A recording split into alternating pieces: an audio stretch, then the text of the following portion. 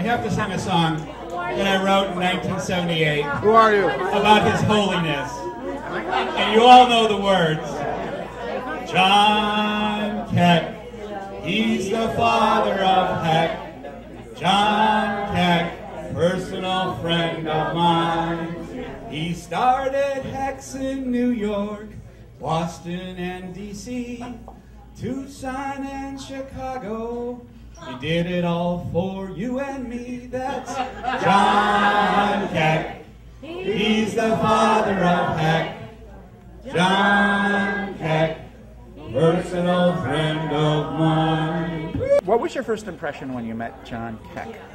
Uh, I was kind of fascinated, kind of like, wow, he's really out there in the sense of very open and friendly. Pulled me in right away, felt like his best friend, kind of accepted me, teased with me a lot, made me feel comfortable with who I was. I met John before there was a HEC. I met John when there were still the, the Teenage Encounter Christ retreats. And I always thought he was a fun guy, zany, and that would be a good word, and I'm a little scared of him. um, but, uh, you know, warm and loving, and uh, as much as you would be like, is, and then all, is, is this guy for real? And then you say, he's very real. What was your first impression when you met John Keck? Oh my goodness. Uh, that guy's crazy. but he's wonderful at the same time. What was your first impression when you met John Keck? Um, he was weird. he was not a personal friend of mine then. Right? He was. I, that really was my first impression. Right. This guy's strange. yeah, way out there. You had a long background in um, in teaching disability, and suddenly you were on the other side of that. Yes, And it was good preparation in a way. it's it's strange when you become disabled. because you weren't at one time. No, but Why do you say it's strange? well, because people treat you like a piece of furniture. I went into a shopping center one time, and this man said, "Hello, how are you?" And I'd never been there before, and I said, "Hello, how are you?" And, and he said, "Oh, it's good to see you again." I said, "I've never been here before," and he said, "Yes, I remember the chair." So suddenly you're remembered as a piece of furniture. I don't like that. Also, people ask if somebody was pushing me and we were in a cafeteria or something. Like the best one was, "Does he eat peas?" And I'm like, "Ask me, you idiot." But I tried to be nice, um, and because it puts you in the situation. If you can't do it, you'll put up with a lot. if you can't if you can't do you know if you can't go to the bathroom by yourself Get up the stairs. you'll put up with a bunch of abuse because you still got to pee you gotta go. you know and that's the way it is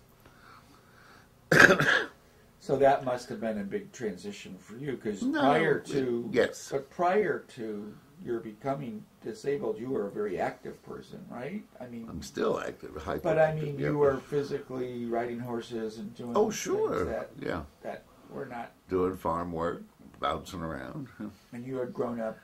Um, you were raised Mennonite. i was my mother was mennonite my father had been i think his family was methodist but when the Methodists married the Mennonite, we went toward the Mennonite. Uh, And what was was that a very strict upbringing? yes. How so? Well, first of all, God was extremely stern. Now, that's in the 40s, and maybe God was stern with everybody. I don't know. But definitely a man with a long beard who carried a book and kept records, mostly of what you did wrong. Let's talk about the accident. What is the accident? What is that? Well, I would like it to be a motorcycle accident or a football accident. I fell off of a swing. I had this little boy, Danny, who was afraid of everything. I, I don't know. Somebody had taught him to be fearful of uh, even playing ball, uh, of anything. I mean, he was just frightened. Uh, I have my own opinions as to who caused that, but that's that's not right. Um, and anyway, so it took me all year to get him to even chance sitting on a swing. And then we sat and we gradually began to, you know, if I would sit on the next one, we would swing. And then it got, finally, by May, we were really ripping. And one day I was out swinging with him, trying to get him going. And uh, the S hook came out of my swing. And I came down on blacktop. and I oh, I knew life had changed. Um, But you were collapsed, but then there was more because you had to get those kids back to the school. you bet I had to get him in. So I got up and walked into the school and got him off the swing and got him in class. And then we called the ambulance. Uh, once they were in, I broke my spine. I broke the bones in my spine. And set me into a very long recovery period. Um, Like, oh, what period? How long were you in recovery? well, I was in the hospital for almost a year. Um, and then, but I came back, and the doctor said I went back too soon. But I came back to school, and the first thing I did, because I was using a chair at that time, I went out to the swing and I got on the swing to show Danny. Then the uh, I went back in January and made it till. I mean, it happened in May, and I forced myself back in January. Um, the kids were wonderful because I couldn't do things, and all the, these are really supposedly rough, you know, nasty kids, and I didn't have to bend for to open a drawer. They were there doing it.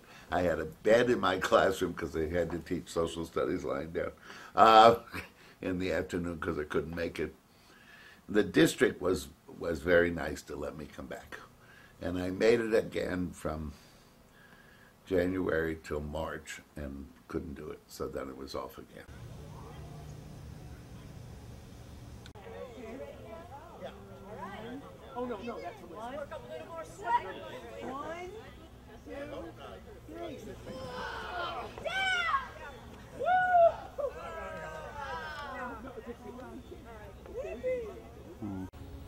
You did not choose me.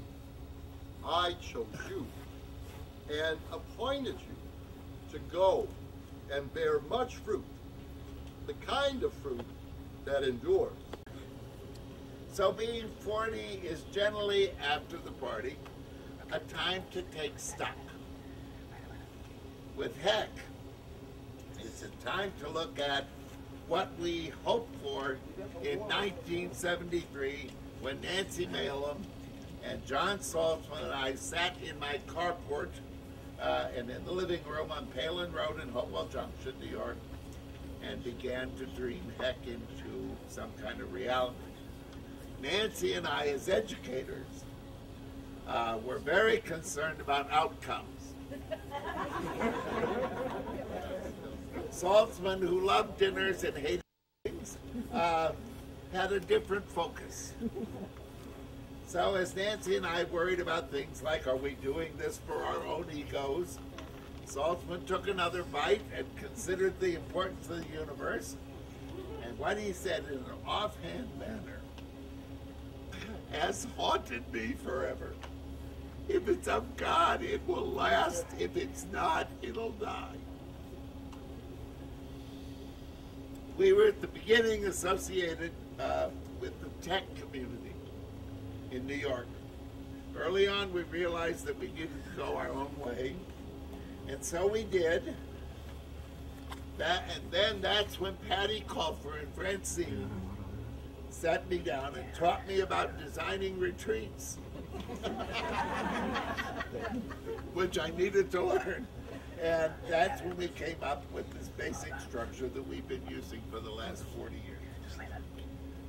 Of course, HEC will also die one day. Hopefully, because HEC will no longer be necessary.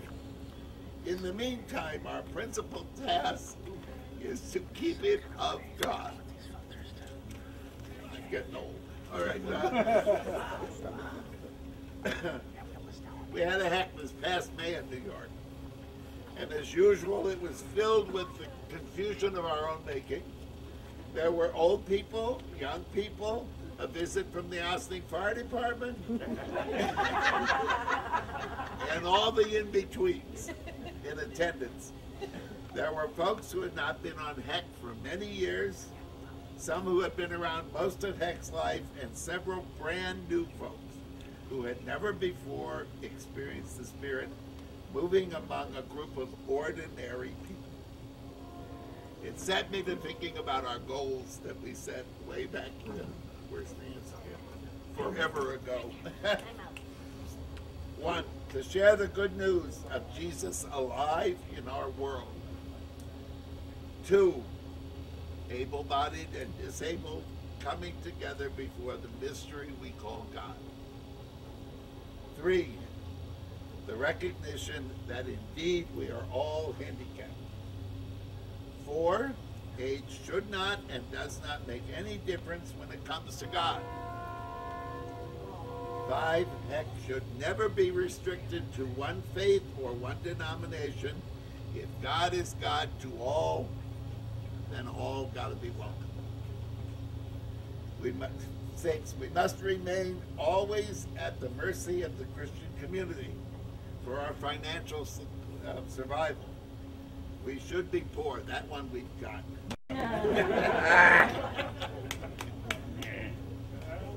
Seven, if people take time to talk with each other and sincerely seek God, God will be among us.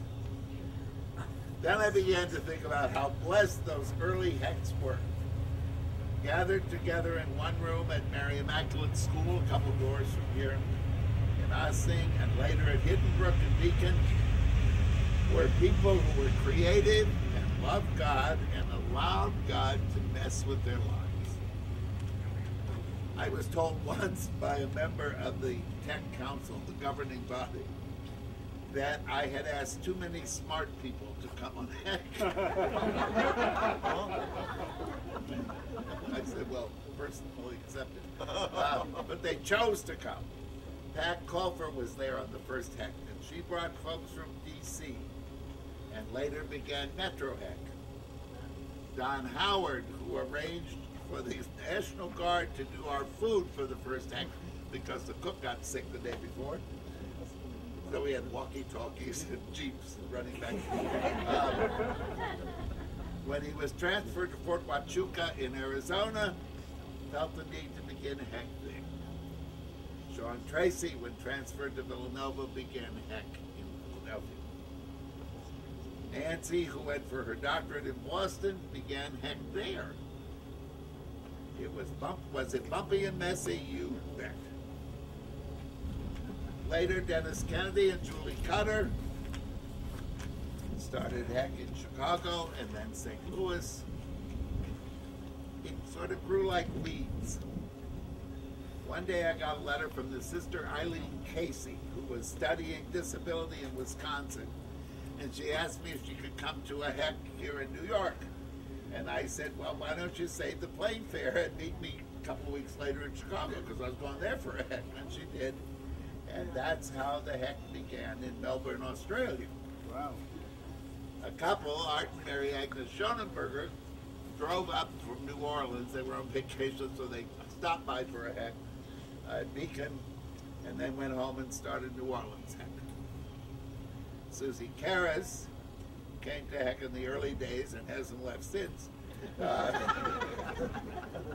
she's been a valuable driving force here in New York and is chiefly responsible for HEC going to the Philippines. So we grew like weeds wherever the Spirit scattered the seeds. And true to Saltzman's word, when it was of God, it prospered. Some communities things have changed, but the communities are still strong. And alas, some communities did die. Uh, the communities that were trying to do things, nice things for poor cripples, didn't make it. All right. when we were five years old, we had a dinner. At the, and the same we had at 10 years old. And when we had lasted 15 years, we celebrated in a big way with a four-day conference a couple doors down here. The, place that's now a place for folks with Alzheimer's. Uh, that's where we were. Maybe we'll go back. folks came all over from, from all over the United States, from Australia, and from the Philippines. Have truly been fishers of people who have made us grow old people, middle-aged people, and lately young people uh, place themselves before God, who just might call them. we have been and are totally surrounded, truly surrounded, by a great company of ordinary, regular, everyday saints. Look around. Look around the room. So to the future. People keep asking me, what happens when you die? Who knows? Hopefully they'll bury me. I already paid for the plot. what happens to HEC is not up to me. It's up to you guys and up to God. For you, John, from Candy. John Keck, the father of HEC. What can one say about such a man? How can one describe someone who has touched so many lives? How can so many thank him for all he has done, for all he has been to each of us? We can start by recognizing his effect on each of us. Think of the ways our lives have been enriched, made better by his example, his encouragement, his praise. Inspiration. Think of all the people enlightened, uplifted, given the courage to continue their journey. Yeah. Lighter of heart and soul because of his insight, his assurance that we do have self worth and do matter, do have our own purpose in life. He always encouraged us to do our best, be the best we could be, follow God's path for each of us. On this 40th anniversary of HEC, I'd like to personally thank John for all he is has been and will be in my life and in the lives of the rest of my family. I'm sure each of you in his HEC family feels the same, as I'm sure all the students he has mentored do as well. What a wonderful blessing you have been to each of us. Thank you. Please know that I am there in spirit, even though my body isn't cooperating right now. Congratulations on a job well done. Lots of love, Candy. What's that mean to what's it mean to be broken? And then the realization that everybody's broken. Yeah, and that and that it's maybe it's all right to be broken, uh, and and and God loves broken things and people.